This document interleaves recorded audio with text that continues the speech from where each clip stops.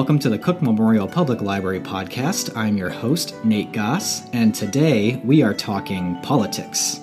Now, don't worry, things shouldn't get too heated with today's topic, at least we hope not.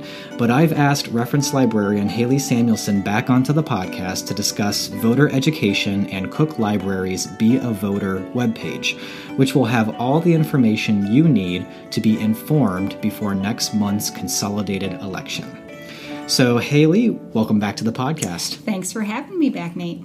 All right, so let's back up a little bit. Didn't we just get over the midterm elections last November? Uh, what is this upcoming election that we're even talking about? We did just get through a national midterm election where um, not only were national offices on the ballot, but we also had statewide offices on the ballot and some countywide offices on the ballot.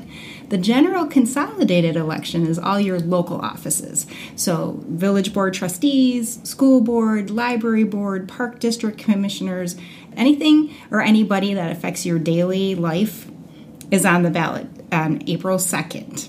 So, even though this one probably doesn't get as much media attention, it's actually in a lot of ways even more impactful for those who actually live in the community here. Oh, for sure. If you need a pothole filled or you have a question about something that's going on at your child's school, you know, these are the these are the people that you're going to be going to. Yeah, yeah.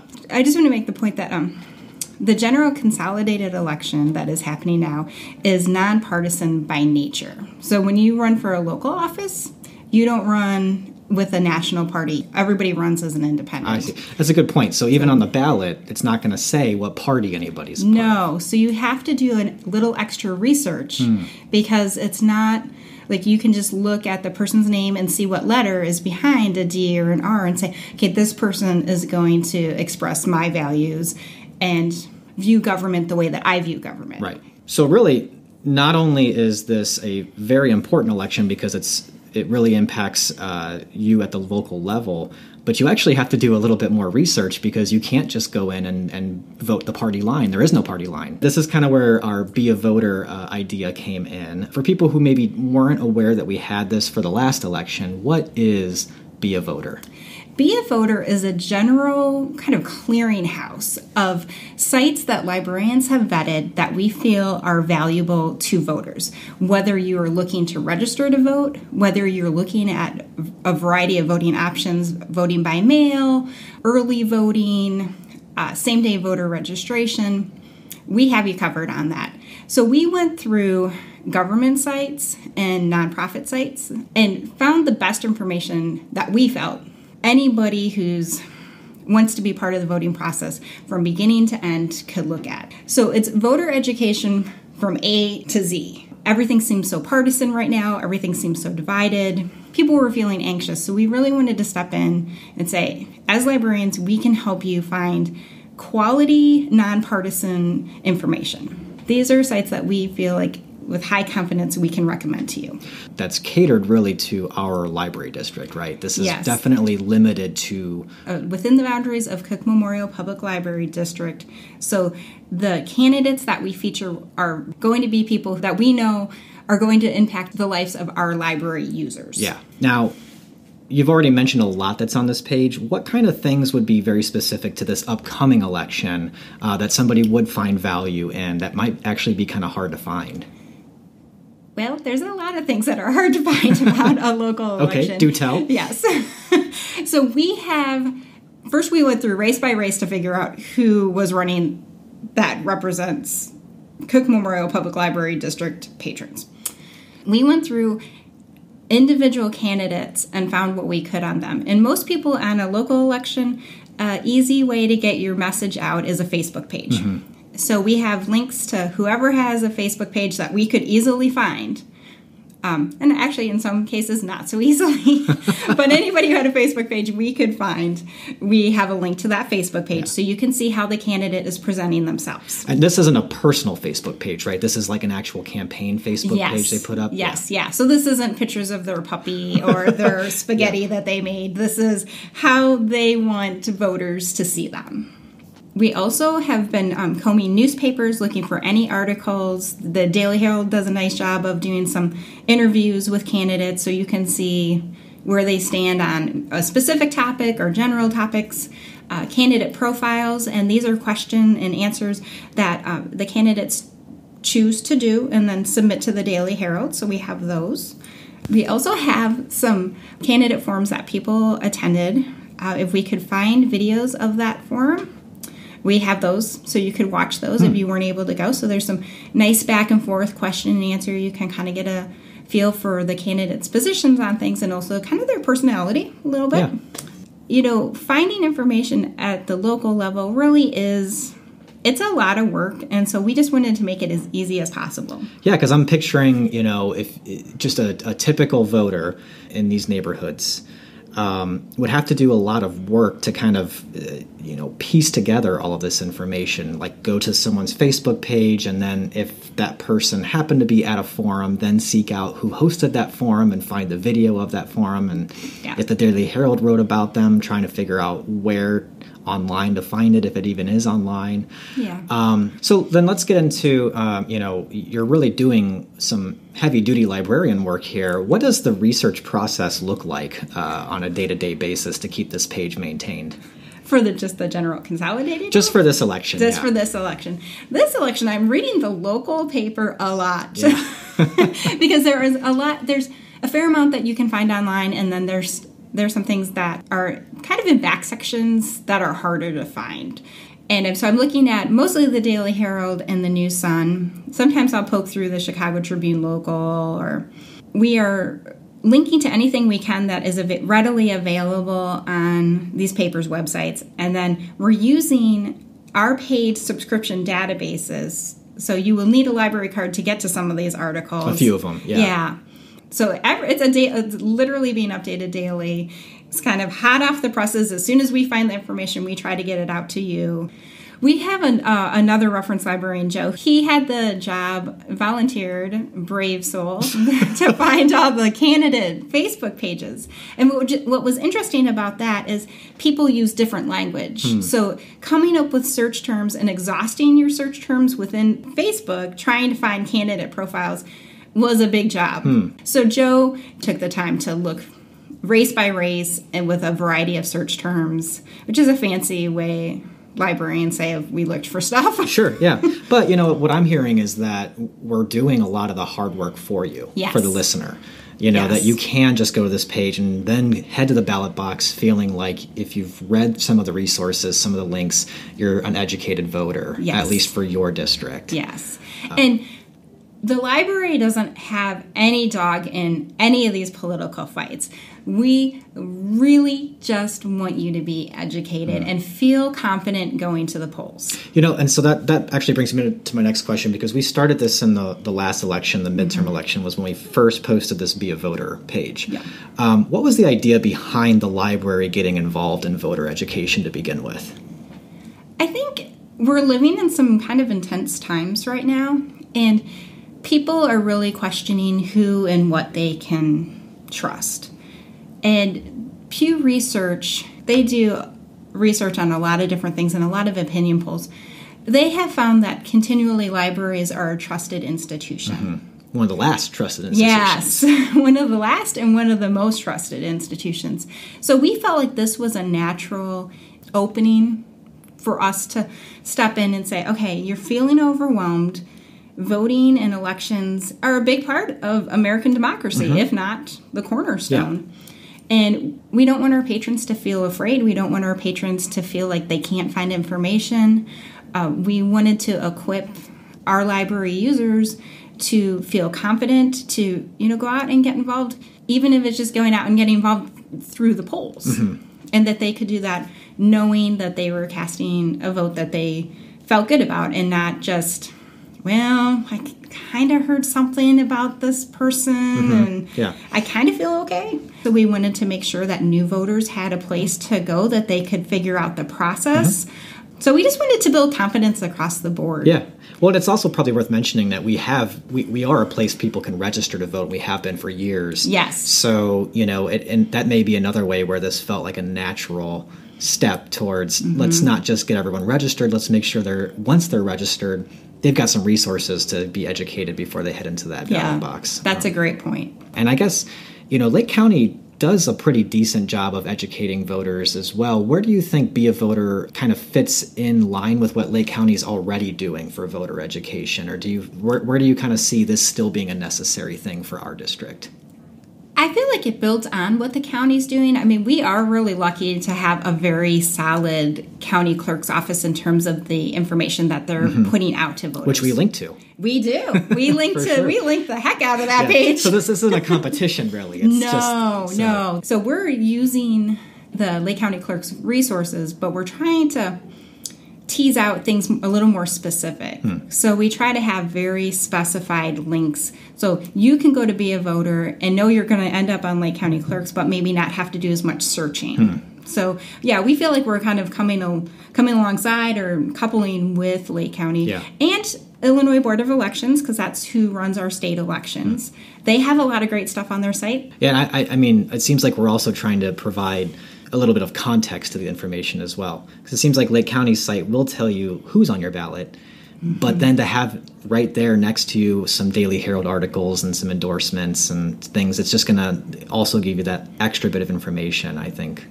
So I can see some listening and thinking, you know, uh, the library getting this involved in elections and in politics, I can see some thinking it sounds like a really bad or at least a risky idea for the library to get involved in. Mm-hmm. What, what would be your response to that concern? I'm not sure that I view elections and voting as risky. Mm. Like we kind of already talked about that it's pretty central to the type of democracy we right. have.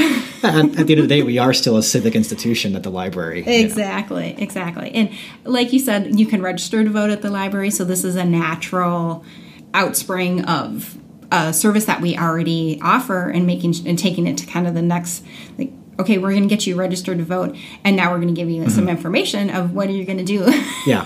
with that newfound ability libraries by nature are about information mm-hmm. and about vetting information, but also making sure people have access to information. Mm, yeah. And we know that your time is valuable. So if you can come to be a voter, go down the list and say, I need this, this, and this, and be done in 20 minutes, then like why wouldn't yeah why wouldn't yeah, you exactly um, so we're trying to respect your time we're trying to do what libraries and librarians yeah. do do the research and provide you solid information trying to take some of the stress out of where to find good information right now.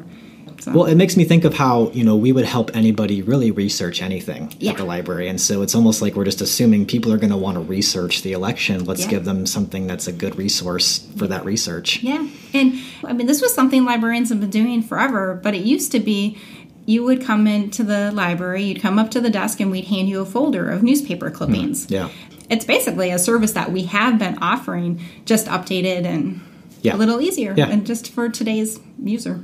And it's not really uh, pertinent to this election because, as you mentioned, it's by its nature a nonpartisan election. Yeah. But for, say, the midterm election, I remember the subheading was that it was a nonpartisan guide yes. to the to the 2018 midterm elections. Yeah. What kind of things did your team do to ensure that this was going to be a nonpartisan guide? We tried to follow what how things were listed on the ballot, so we weren't giving any preference to anybody. And there's a whole process of how things get listed on a ballot, mm-hmm. and it mm-hmm. has to do with filing and all of that. But um, so we tried to. We also tried to do a lot of things alphabetically, so it wasn't like oh we're giving prime real estate sure, to yeah. this party. They just happened to come ahead in the in the um, in the alphabet. We only linked to official candidate websites. We were not going to get into what somebody thought about a candidate. We mm. wanted you to be able to see how that candidate was presenting themselves mm. to the voters and to the electorate. So we're not editorialized. No, no. Yeah. We are saying we are merely presenting this is what the candidate has to say about themselves. We found some really nice neutral guides of just what were the elections about? This party needs to pick up X amount of seats. This party needs to preserve the uh, X amount of seats. So it was very clear of like, okay, why am I voting? How could this impact me? What are the things that I care about and who represents those?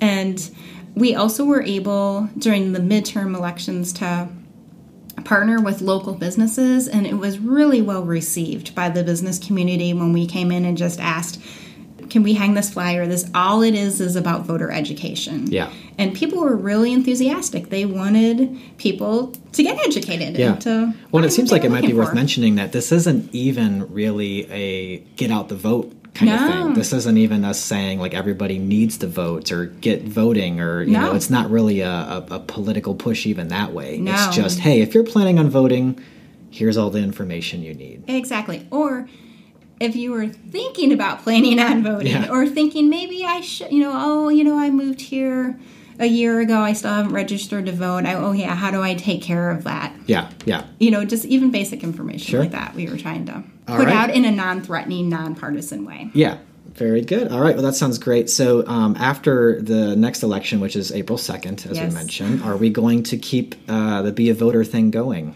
We will. Okay. And the fun never ends. we'll be de- already looking at what 2020, right? We will already be looking at the presidential 2020 election. We will have information about our current president and his reelection efforts, as well as the Democratic Mm-hmm. field of candidates, fact checking. Mm-hmm. Um, so, yeah, it's exciting. I mean, and, and 2020 won't just be the presidential election, No, right? So we'll have some stuff on, you know, the congressional candidates. Yes, yeah. We have a senator up for re for reelection. Um, then your uh, House of Representative, your Congress people will be back up for Yeah. reelection. So probably some state senators. Yeah, yeah, no, Probably. I don't yeah. know for sure, but any, so anything that could possibly be on your ballot, uh, Yes. we will do our best to dig up what's available exactly. and uh, credible. yes, credible underlined exclamation point. All right, so we talked this entire time about Be a Voter, um, and and I don't think we ever actually gave out where Be a Voter is on our website. so Oh, let's, probably... we should probably make it. uh, Glad you guys stuck with us. we kept it all for for the end. Yes.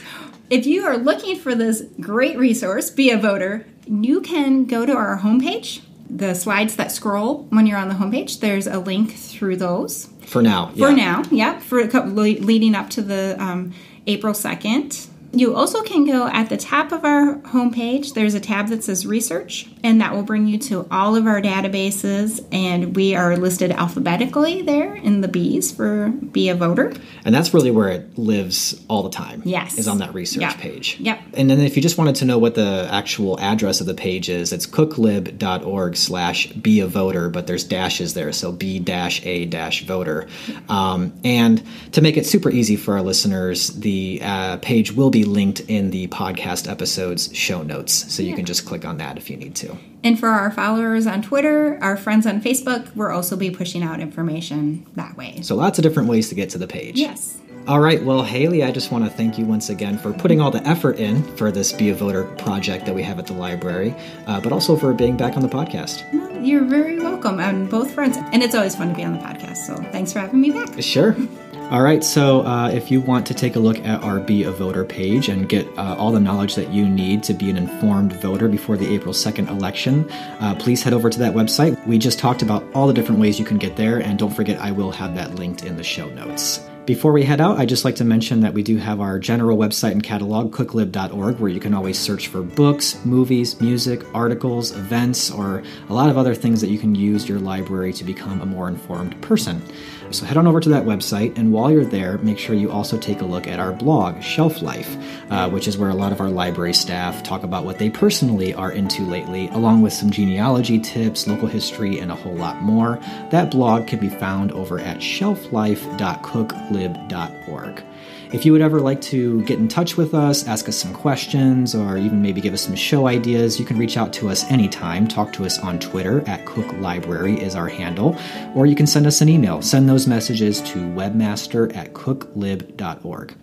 We hope you enjoyed this episode. If you did enjoy it, please spread the word by sharing it with your friends and family. Let them know that they can catch any of our future episodes by subscribing in Apple Podcasts or any other podcast platform where they enjoy listening to podcasts. And if you really want to help us out, consider leaving just a brief rating on Apple Podcasts. Those ratings go a really long way in getting this show out to new listeners. We will be back soon, but until then, keep reading, keep watching, and keep listening.